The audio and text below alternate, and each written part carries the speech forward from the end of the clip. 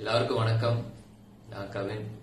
நம்மளோட படம் லிஃப்ட் இன்னைக்கு நைட்டு பன்னெண்டு மணிக்கு ஹாட் ஸ்டார்ல ரிலீஸ் ஆகுது பிபி முடிச்சிட்டு வேக வேகமா பண்ண ஒரு படம். டக்கு டக்குன்னு எவ்வளவு சீக்கிரம் முடியுதோ அவ்வளவு சீக்கிரம் பண்ணி உங்ககிட்ட எடுத்துட்டு வரணும் அப்படின்னு ஆசையா பண்ண ஒரு படம்.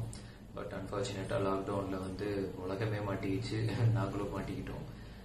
இன்னைக்கு ஆனால் அது எல்லாத்தையுமே தாண்டி ஒரு வழியா நல்லபடியா படத்தை எடுத்துட்டு வரோம் உங்ககிட்ட.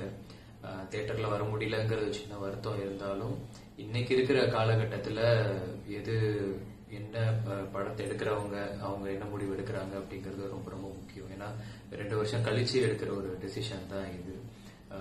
இன்னொரு வகையில பார்க்கும்போது பெரிய படங்களும் சரி சின்ன படங்களும் சரி எந்த இடத்துல வந்தாலும் நல்ல படங்கள் எல்லா இடத்துலயுமே வெற்றி பெற்றுட்டு இருக்கு ஸோ அந்த வகையில இந்த படமும் உங்க எல்லார்கிட்டயும் நல்ல வரவேற்பு பெறும்னு ஒரு ரொம்ப பெரிய ஒரு நம்பிக்கையில நான் இருக்கேன்.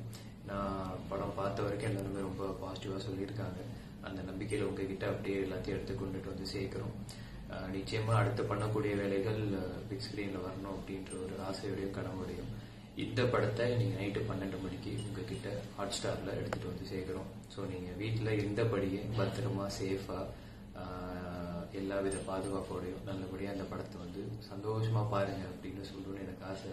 பட் பேய் படத்தை அப்படி பாருங்க சொல்ல தெரியல பட் யா சந்தோஷமா பார்க்கல ஏன்னா படம் வந்து டெஃபினட்டா பேய் படம் எனக்கு வந்து சின்ன வயசுல இருந்து ரொம்ப ரொம்ப பிடிக்கும்.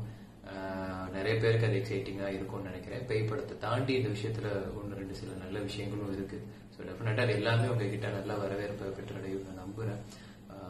ஸோ படம் இன்னைக்கு நைட்டு பன்னெண்டு மணிக்கு ஹாட் ஸ்டார்ல வருது. படத்தை பார்த்துட்டு எந்த கருத்தா இருந்தாலும் எப்போ போல சொல்லுங்க. அண்ட் நான் எப்பயுமே சொல்றதுதான். எப்போ போல கூட இருங்க. எல்லாருமே நல்லா